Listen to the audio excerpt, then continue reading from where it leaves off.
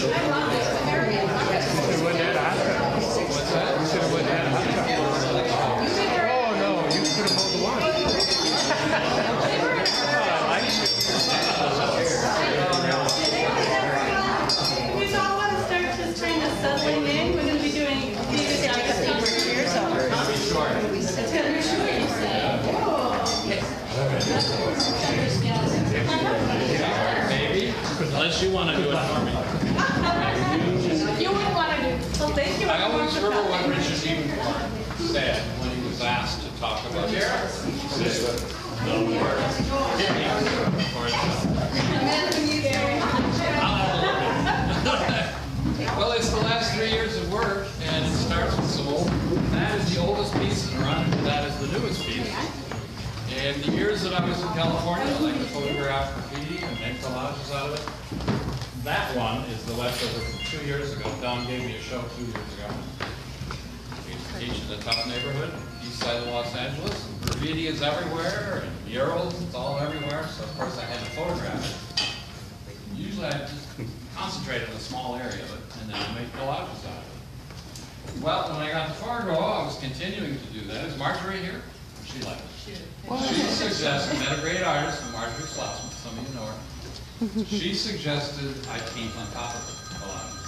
So this is the series, recent stuff from that period. So, and it's all done in Fargo. And there are two oddball pieces. The one right there is the most recent. It doesn't look like it, but I photographed a building in Fargo. I'm curious, does anybody recognize? It? No. You can tell me later. It's a brick wall. It's a building that is going to be knocked down, and I want to hear a word on you. You got it. And this one over here, I used to be on mailing lists in LA for theaters, but I could never quite throw them away, so I kept them, made collage out of it. And the idea was to paint on top and do what I do, but when I got it together, I thought, no, just leave it the way it is. So color, collage, and I think you sense being here, that me being here is completely different than living in Los Angeles. I think the work is a lot more peaceful. I love driving the back roads in North Dakota. And I think maybe that reflects in the work. So that is all I can think to say. Naomi, I knew it. Here we go. Okay, carry this with you, okay, how do you reproduce your? Well, thi- this was a a collage, photographic collage, but I had it printed on canvas.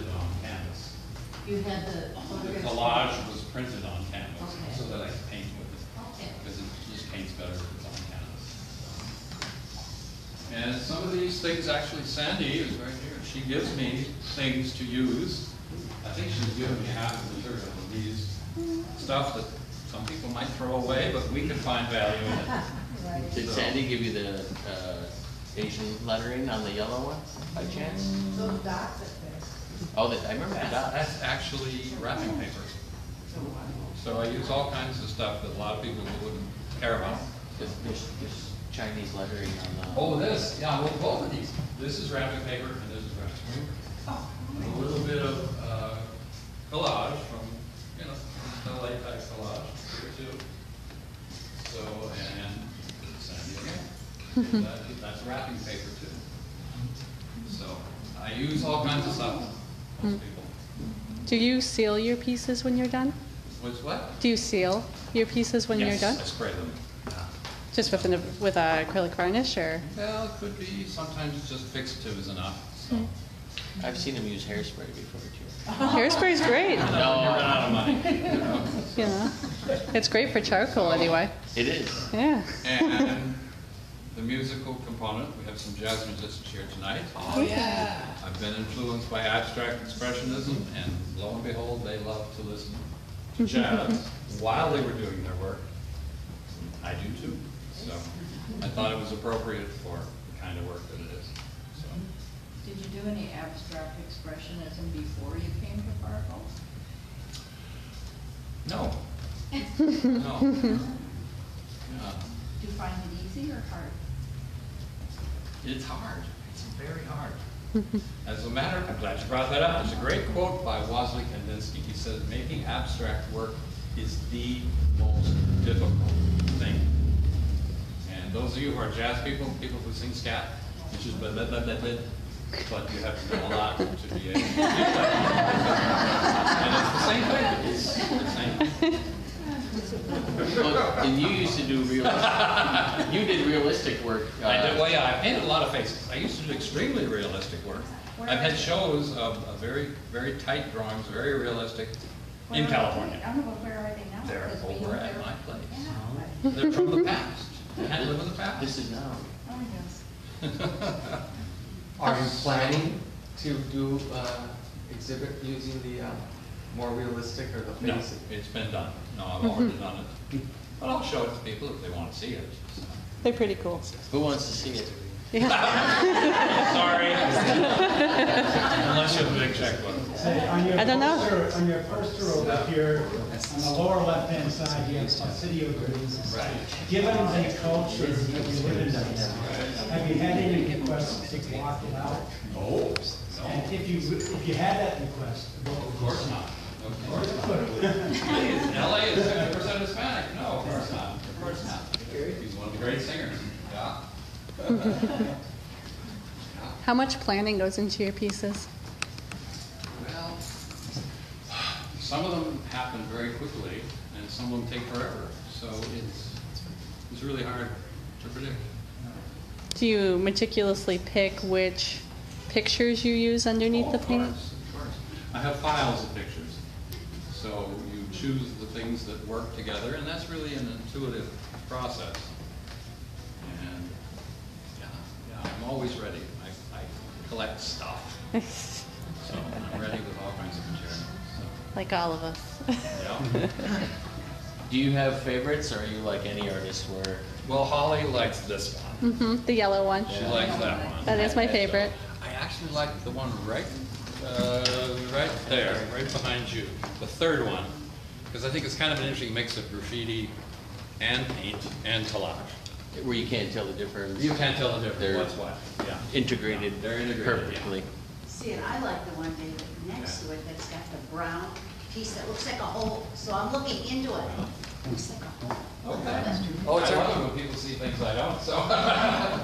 That one's already got a dot on it. Yeah, Marjorie, oh. Marjorie Oh my purchased your piece. she picked that one. Yep, I did not know that.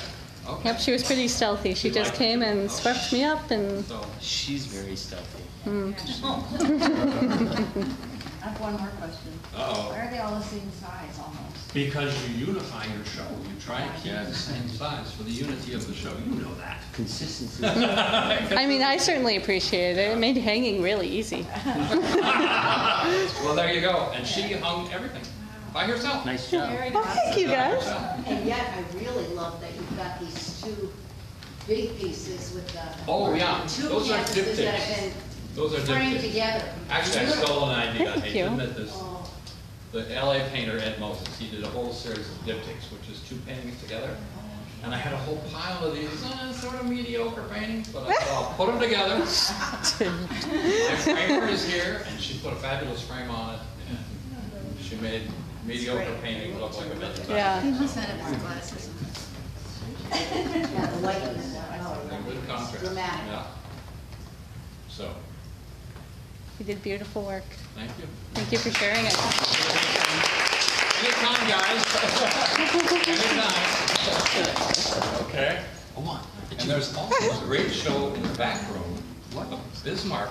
She's from Oh, Bismarck. yes, uh, Erica Wonderful Thune show. is in our Lotus studio right now. Wonderful show.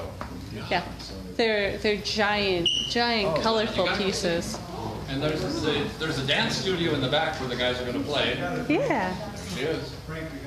If you're inspired to dance, it might be heretical. She knew what she wanted. Do what you want.